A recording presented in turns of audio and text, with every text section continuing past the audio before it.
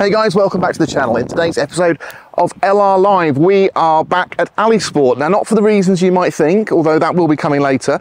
Uh, you can see here, I've driven down in the Disco 3 and I've now got designer mud.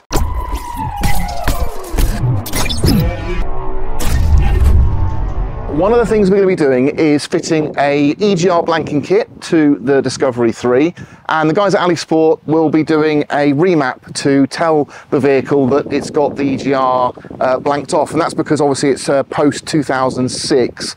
Anything before 2006 I think you can just do it without telling the ECU but obviously it's 2009 so we have 2008 so we have to tell it that uh, it's been blanked off. So that's going to be something we're doing a bit later, might be tomorrow. Um, if it's tomorrow, we will be camping locally in the roof tent, and I'm pleased to say it's gorgeous here. I left uh, Liverpool this morning, it was pouring with rain, so really pleased about that. But what we're here for first is we are doing something to their Defender 90. So this is Allisport's Puma 90. They've sold the vehicle, and the new owner would like some panoramic glass. So, um, as part of the channel if you like because I've done these before. I said I'd uh, come along and fit it for them. So hopefully we've got a template in our kit. Um, if we haven't don't worry we can address that it's not a problem. Um, the way the templates work is they are designed to replicate the standard aperture you have in your 90 or your 110 um, for the rear window. So the design of the glass itself is back printed so that you've got a feathered um, black infill, if you like, around the outside uh, to cover up your nasty cutwork. Um, and then the actual aperture that uh, you'll be able to see through is the same size as a standard window. And that just makes it easier because if you've got regular windows and you want to take those out and put the, the panoramic glass on, you can do that. It's not, not a problem. It's much easier. Or you can just cut it out to size. So if you guys don't have uh, windows in your vehicle already, you've just got the, uh, the hardtop, don't worry, uh, all the measurements are very easy to lay out on the outside of the vehicle and I'll show you how to do that now. But the one thing you're gonna have to do first is get this out. And I did say before we are gonna leave it in, but um, I've changed my mind, we're gonna get this out. So there's two tabs that are riveted onto this steel capping. Now they're not um, regular rivets, they're like pop rivets, steel ones, so they are quite hardy. So I'm actually gonna have a go at drilling these out as much as I can because it'll just make them easier to lift. So we can just pop these up out. Yeah, that is the trick. It does help if you just take the heads off those rivets slightly. There we go. Now, we don't want to go mad here because, again, you don't want to damage the panel, but you just wiggle it. There we go. Now, um, yeah, I've got some sticky stuff on here. You might need a knife just to cut that off the panel, but there we go. That is all free. So we're going to have to measure our aperture here. So because this vehicle is not originally uh, fitted with the windows, we're going to have to measure up and put them where we want them. So uh, from the, the seam here, so the back of the door, take a measurement from here backwards of 210. That's 210 mil. And on the rear, we do the same thing, but it's 160. Okay, so we've got our marks there. And then from the top seam, you can just see there's a rubber piece here.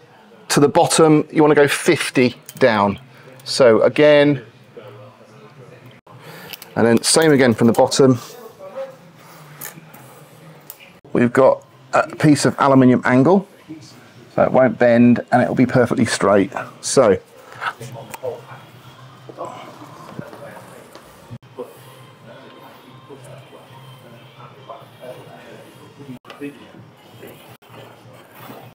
So for your rounded corners, you want to use a roll of masking tape. Put it in the corner so it's touching the top and the side and just do little radius there, look.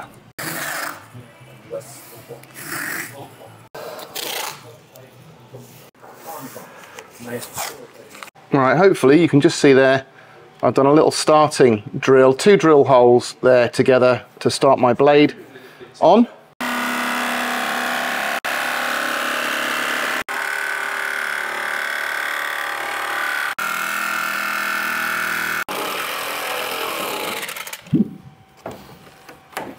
There we go. Right, so we had a little bit of a wobble at the top there on the blade, but otherwise nice, clean cut. So a couple of things that were important there is obviously when I got to this stage here, I knew how to turn. I just lifted the um, jigsaw away from the body so as not to damage the capping because this isn't going to be covered. Went up, and then when I came to join here, I just made sure that I put a little bit of weight on pressure on that panel so it fell inwards rather than falling outwards. So you can see there, I just simply used a jigsaw. It didn't take any time at all. This is thin aluminium. That's a nice, sharp, fine um, metal saw blade on there.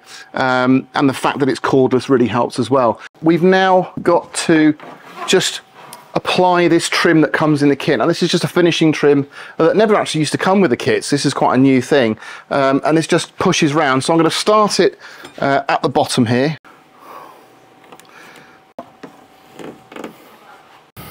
And just snip at the bottom.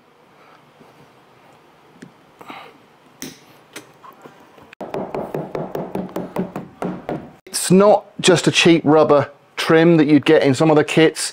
Um, it has got the grippers on the inside, the stainless steel grippers, so it gets a nice finish. And I think that just makes the job look a lot tidier. You can just see there when we've gone up a little bit, that was where the blade bent. So unfortunately that is gonna sit like that, but you could probably just move this down a bit, look, to disguise it. And now it's straight. With the kit, you do get everything you need. Now, you've got these little applicators for the primer. Now, the primer has to go both on the bodywork and on the glass, on the printed area of the glass. And you let that dry for 10 minutes on both sides. And that just gives it a really good key for this bonding agent to stick to. So we're going to do that first. They also give you some wipes, um, so we can actually wipe the glass clean first. And we'll do that on the panel and the glass, just so everything's clean. And you even get some very attractive gloves. Actual tape wasn't sticking, so I'm really hoping this hasn't been ceramic coated because that could cause us a bit of an issue. But this wipe should get rid of anything that's on there and we use the same wipe now on the glass. The matte area is wider on one end than the other. So that is going to be our rear. That's our front. That's got the logo on it. So we'll put the logo at the back. But let's get the primer on and we're ready to go. No huge rush with this. You can take your time because although it has to dry for 10 minutes, that's all. You can leave it for a bit longer if you need to. So don't worry about that. But basically, try not to drip it. Okay, these little cotton buds are incredibly absorbent. So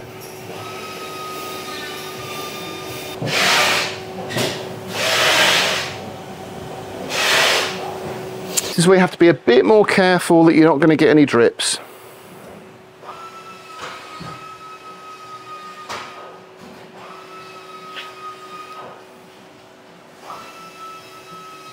It's okay to get a drip on the actual panel that you're bonding, but you don't want to get it on the vehicle. So I don't know if you can see here um, on this nozzle, it's actually got a V shape in it. Now the reason this is great is because when you actually put your mastic or your bonding glue on here, you want it to be in a ridge, sort of like a mountain range that goes all the way along. So when we get this on the vehicle, we're going to use this piece here just to guide us against the panel and then we're going to just literally keep that on the panel as we draw it across and squeeze out all of our bonding glue onto here and that should make the job a lot easier and we'll get a peak that's probably about I don't know 12 mil deep now don't worry if you're not a, a master at this. It's quite hard on the hands. Just make sure you get a nice line all the way across. Doesn't matter how unattractive it is. You can see where it goes. Don't worry about making it. Just go from there. And we'll lift it up. Just don't drop it. So up against the body. That's it. And I'm going to move it into position. I hope thank you very much that's, that's perfect so I'm just working it up and down a little bit just to try and flatten it out all the way around left and right just a touch what we want to do is make sure that it's level with the bottom of the door, uh, the bottom of the side panel. If you've got the glass, it will stick better. Just on there, stop it dropping more than it should. We are in a treat. really solid. Having got a few of these, the trick really is to get some pressure on it and just as you're pushing it in, move it up and down because that sort of means you're smearing and closing and squishing that, that glue, that bonding. And you get it on the panel and you can feel it when it's compressed enough and you can just, you can feel how solid that is. So to remove these, you're going to need a pick, and uh, I've got two here um, that work well. So I'm going to use this. Now there's a pipe that's inside here that you just pull out. So you just grab it and pull it out. So you can see here I've got it in my hand. So that's that's an infill, and that's what gives that rubber its strength. Now I should then just be able to pop this out. They are strong. It's tempered glass, so you don't have to be too frail with it. Okay, so that is our quarter light out. So unlike the side panels, uh, the quarter panels for the rear um, are handed because the other one's got a section missing for the hinge. And you also obviously have front and rear again. So this is a nice smooth shiny side. That's the outside. And then we've got the printed edge here. The VGS logo goes at the bottom so you can see it from the outside. Let me just swivel the camera around and you'll see on here that we're just going to offer it up into place like that. You just need to make sure that these two pieces of glass are not touching. You definitely need to leave at least one, if not two mil gap, and we'll fill that later. Um, but if they're touching, eh, they're going to smash when you're driving.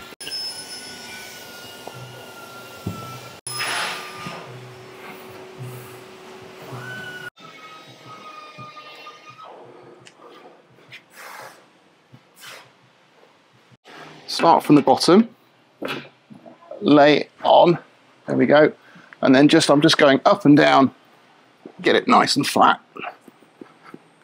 There we go. And I want a little mil gap on there, just down there, you can just see.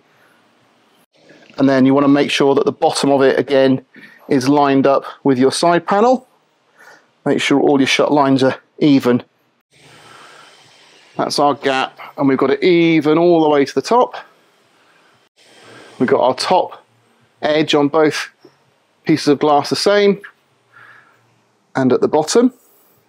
And then if we go across to here, we've got a little bit of the bodywork there, but that's fine, as long as it's the same all the way up.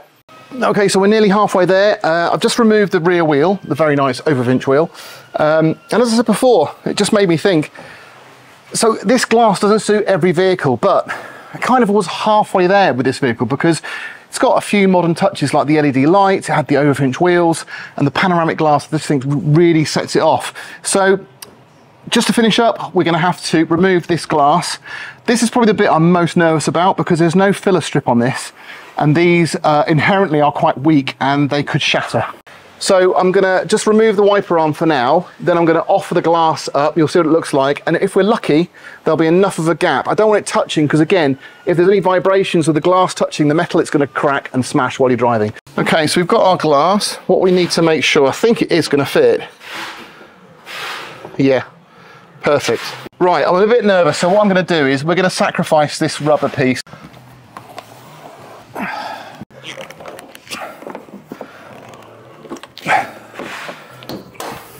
Right. I'm gonna, you got it? There you go. All yours. that was a lot easier than I thought it was gonna be. Just obviously feed it round.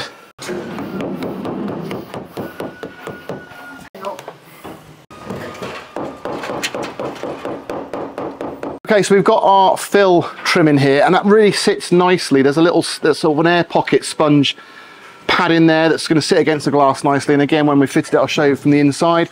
But you've seen me do this already. I'll put it in time lapse and you can watch me do the rear door.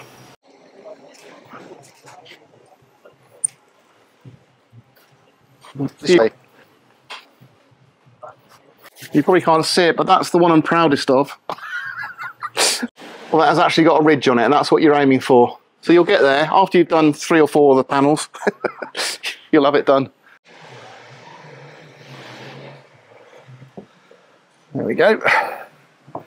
So you haven't got quite as much room to wiggle because you've got that hole. But the good thing about the hole is it, it helps you get it central.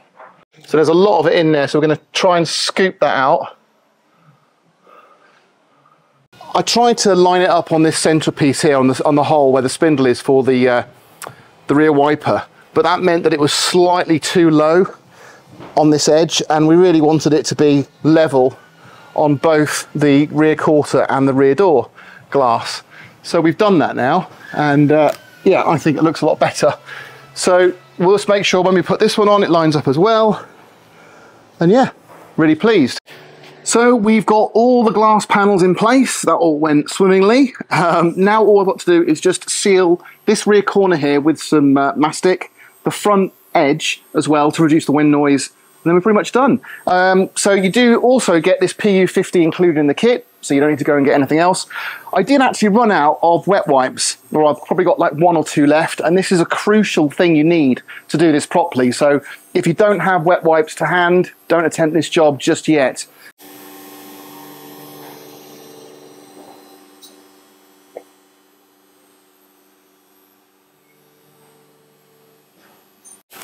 I think that was the best one. The first one I did.